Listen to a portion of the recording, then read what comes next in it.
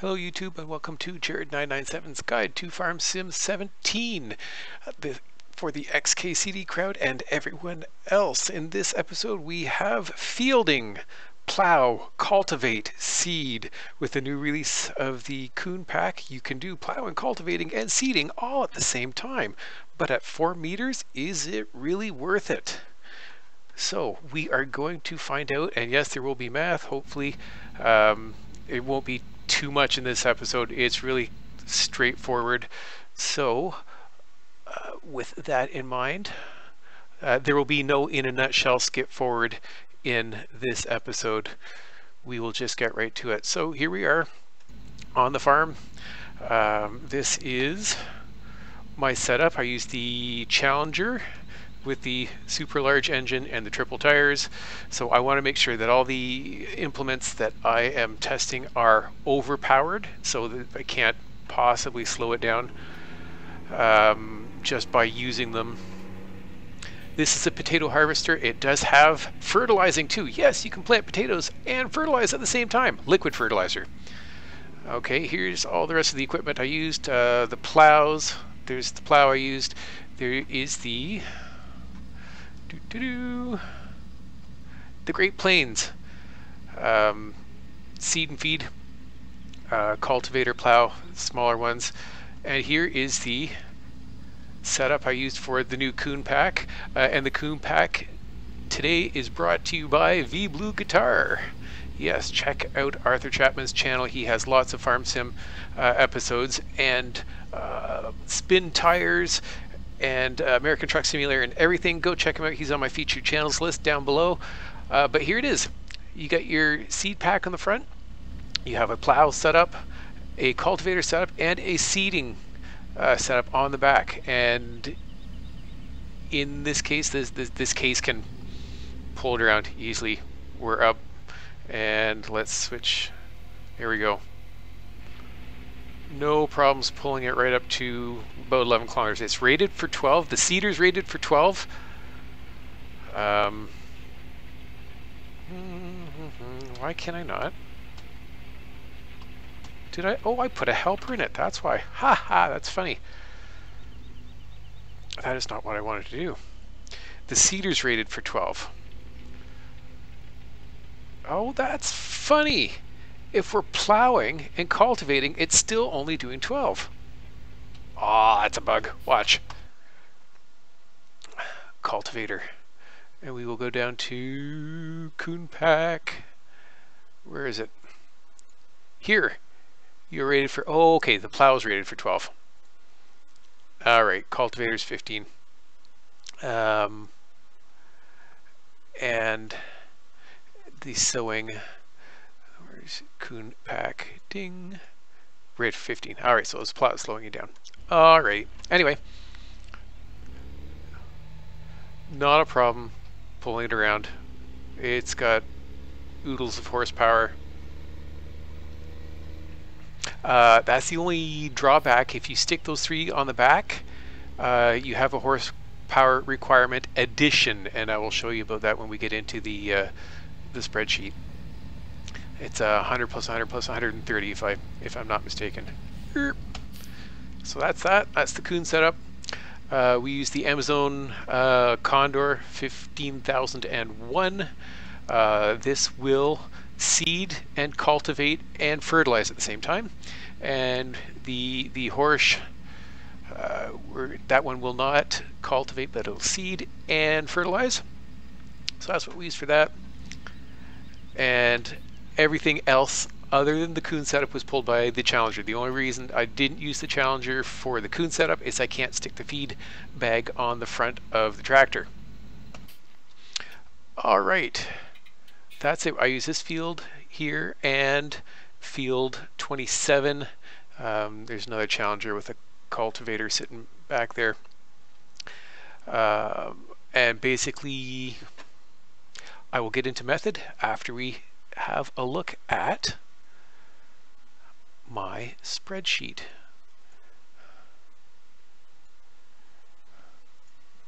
So let us fade to, uh-oh.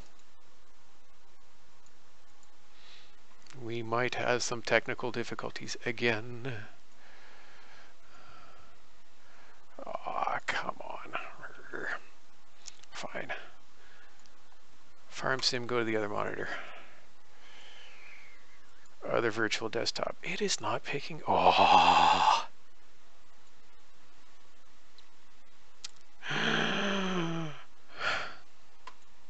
Please stand by as we have a moment of technical difficulties.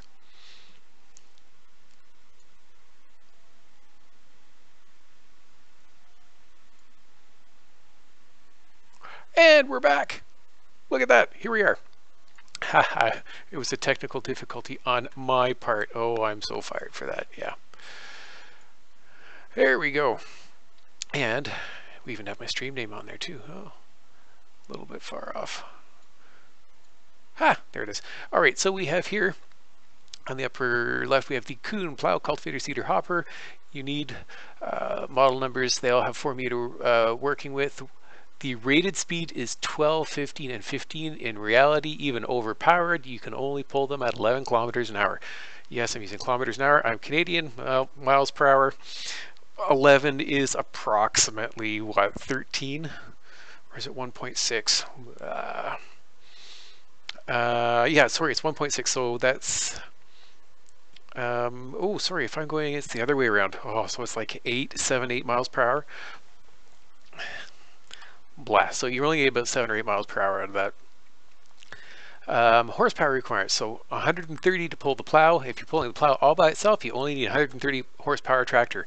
If you're pu pulling the plow, cultivator, and seeder, look at that, you need 330 horsepower to pull it. That's quite a bit.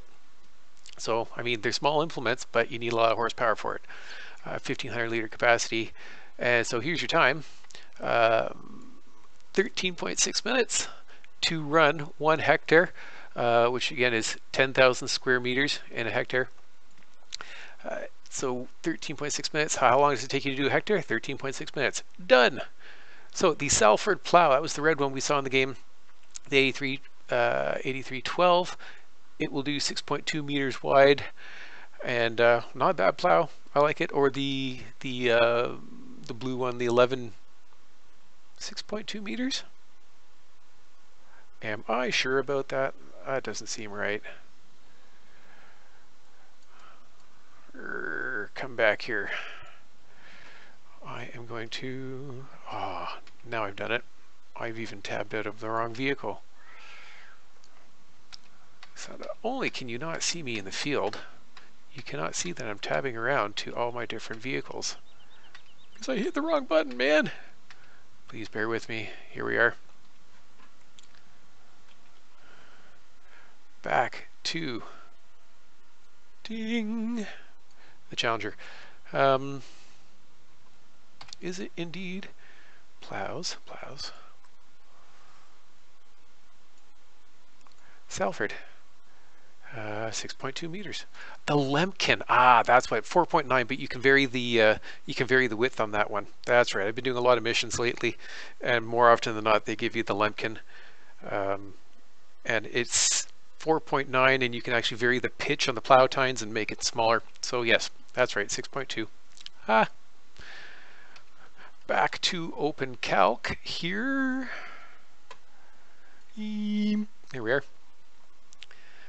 So, uh, 6.2 meters width, working speed of 14.5 kilometers an hour. It, if you overpower it and you set your cruise control like to 45 your max speed, um, it'll go between 14 kilometers and 15 kilometers an hour. So I average it 14 and a half. Um, so square meters per minute is the calculation. You need 300 horsepower to run it. It'll do you one hectare in 6.7 minutes. Not bad, but we still need to, if we're comparing to plow, cultivate, and seed. You need the, the Condor seeder, biggest one you can get right now. This is this is all non-mod. Okay, we're not looking at any mod stuff. Well, what about this mod? This mod can do this. This mod can do that. Great. We're not talking about mods right now. Just stock stuff. Um, Condor 15001. It'll do 15 meters. Um, again, rated speed of 15, but works at 14 and a half. You only need 270 horsepower to run it. This one, again, it's either or. You're not pulling these both at the same time, so you can get a 300 horsepower tractor and do uh, uh, either one. So it'll take you 6.7 minutes to plow, 2.8 minutes to fertilize per hectare. That gives you a total time of 9.4 minutes. Ding, we have a clear winner. It is faster to plow and to plow, cultivate, and seed using the larger setup than it is with the Kuhn. Now, this doesn't take into consideration going back and forth, changing implements. I mean, one hectare field is not that big. You might take a, a, minute or two to, you know, drop the plow, pick up the seeder.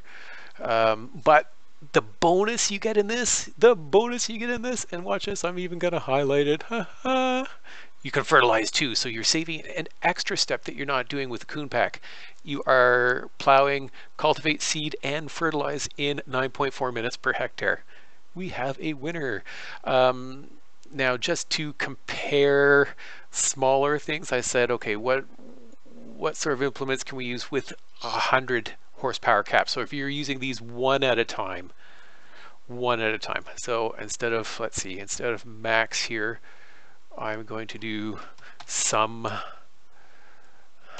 and the answer here is 40. So if you're using these one at a time, one at a time, um, your maximum horsepower requirement would be 130. Okay, so your time to do one hectare would be 40 minutes. So here is the other non-Kuhn, the non-Kuhn pack. Okay, so this is the DC401 in the pack. This is the one that comes with the Game the Varimaster 150, 153, um, and the cultivator, the Cultimer L3 uh, 130 or 300. I will pop into the game here and show you that in a second. So cultivator, this is the Cultimer L300, comes with it, uh, with the game, three meters. And then the Kuhn Pack cultivator, uh, four meters, uh, a little bit bigger. Check out Arthur uh, Arthur's video on his Kuhn Pack review he goes through everything, all the new uh, items in it, their pluses and minuses compared to what's in in the game, um, prices per meter, everything. Really good review on it. So those are the differences. Let us head back to the spreadsheet. So sorry, maximum of 130 horsepower because you need 130 for the plow. Uh, and the Great Plains sower, uh, the green one, I'm not considering fertilizing. I didn't take into account fertilizing with that. Um, but if you use it one at a time, uh, these would be do you better, but you fertilize. Oh, I didn't take that into account. Um, the goal of this exercise here was just to compare the Kuhn pack with standard uh, in-game items. So I didn't take into consideration fertilizing. That would have been extra uh, above and beyond or out of scope, if you will. But 46 minutes. So if you're doing them by singles, yes, the Kuhn pack is faster. Uh, but the Great Plains will fertilize for you, so maybe that maybe that evens it out. Uh, here's my setup, the, the, Challenger MT900 with a 975 engine, 646 horsepower, more than enough to pull anything. Here, the triple wheels, max speed 40 kilometers an hour ta-da! Um, but this got me into seeding. Um, I it looked like different different crop types were taking different uh, different amounts of seed. So for today's extra content, we have seeding rates. Woohoo! Um, so we will look into this. I started with the Condor, the Horsch, and the Great Plains Seeder. And what I did here is we took wheat, I took the volume at the start, volume at the end, ran it for 30 seconds down the field, and calculated how many how many liters per second of seed I was using. Okay, and then with some math here, uh, we convert kilometers per hour to meters per second, multiply it by meters per second, toss in our volume uh, liters per second, and we get liters per hectare. So this is how much seed you are using for this crop per hectare. Okay, and so as we see here, seed is seed. Okay, when you purchase seed, it doesn't. You're not purchasing wheat seed or soy seed or grass seed. You're buying seed. So the most expensive crop to lay down is canola, 744. Um, okay, the in general this is right. The cheapest, uh, the cheapest thing to lay down is your oilseed radish, which is good. Uh, maybe I'll do another episode on whether it's cheaper to uh, put your oilseed radish in as compared to other fertilizing methods. Uh, that sounds good because that's some, you have to take a look at different costs from different places there. Again, beyond the scope here. Um, Horsch, sunflower, soy is the same. Corn, sugar beet is the same liters per hectare. And then the Great Plains. Wait a minute. Wheat, to lay down wheat. So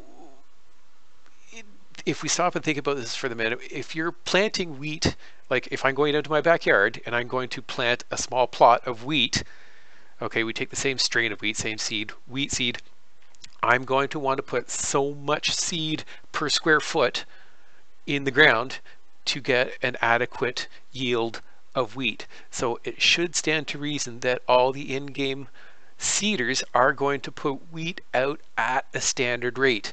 But look at this, 634, 524. Uh, this isn't right. So we go back to the Great Plains and I ran it a few more times on just on wheat and look at this. I got a couple different answers. Um, now this is a, I looked at this and this is a 30 second time. So look, my answers are differing by about a liter and I'm going to say that my I, I, was pretty accurate to plus or minus maybe half a liter. So like I said, I, I had a timer in front of me. I started on the field. I had the tractor running at speed, um, at the sowing speed, and then I hit uh, B on the keyboard to start sowing and start on my timer at the same time, ran it for 30 seconds and B and stop at zero and I got my speed. So I thought, well, I'm getting some inaccuracies here. So I ran it all again at two minutes here, okay, to get a little bit more accurate speeds. And the Great Plains, I ran it at two minutes and a little bit better. 613, 606, I'm going to say it's about 613, which is between 606, 634. So great, two minute time should be more accurate, right? So here's wheat, here's the Condor wheat, uh, but um, here is the Kuhn pack, the BTF 400 wheat, um, and the Great Plains. I ran it again, 613. So yeah, not accurate between the implements. What is going on here? Uh, let's see. Canola 731, canola 847, canola 855 wow, something is going on. It's not the same. Not the same. Anyway, the two minute time is the same thing. Loaded it up, ran it down the field for two minutes. The uh, start, stop difference, liters per second, and then take the working with your working speed and turn it into that. Now, I thought, well, if I'm doing this for seeds, some of these things can fertilize too. I took down the fertilizing um, numbers too. So we see the, let's see, wheat fertilized per wheat. And again, it should be, if you fertilize per wheat, you want to fertilize the same amount per square foot, so to speak, or uh, per hectare um, for your crop. But no, it's different. Look at this. 124 liters per hectare, 201 liters per hectare for wheat. Uh, let's go up to canola. Where are we here? Canola, 204 liters per hectare. Canola down here, 124. Huge difference. So like, uh, oh, and when I got into the seeding, um, I ran the um, the Grimme uh, GL 860 Compacta, and that is da da. Oh, I gotta do farm sim. Ding, that guy there. Uh, it will fertilize into potatoes, but it's liquid fertilizer. This is, takes liquid fertilizer. Don't buy the solid stuff or pull up to the solid uh, placeable tanks um, because it won't fill. do, do, do, do. You can see it over there. See, I've got some got the tanks filled up there. I pulled up to the solid tank and I'm like, why is this not filling up? Well, that is why it is not filling up. All right, back to Mr. Spreadsheet. 239 liters per hectare. Ah! But we can't really compare because it's using liquid as compared to solid fertilizer, so not quite a fair comparison. Uh, and I only did the one because it only one um, machine machinery type for seeding because it fertilized too. I didn't look at the different width for potatoes. So here on this screen, I've sorted everything first by type. Oh, I missed again. Oh, I'm fired. Whoops, no, not number eight. There we go. First by your seed type barley, canola, corn, gra man. You know, because when I did these before, had them grouped and it didn't do anyway. Grass, potatoes, radish, soy, sugar beet, sunflower, wheat, sorted by seed type, and then the working width, okay, for each group. And now we're going to look at how many liters per hectare. So, uh, barley, you use less seed per square foot in air quotes, okay, liters per hectare. Uh, use less seed with the smaller working width. As we go up to the four meter, use a little bit more. As you go up uh, a little bit more, about the same, I'd say within the margin of error. 15 meter, less seed. 10% um, less seed, more than 10% less seed. Uh, canola, uh, it use 855 liters per hectare, in air quotes, square foot.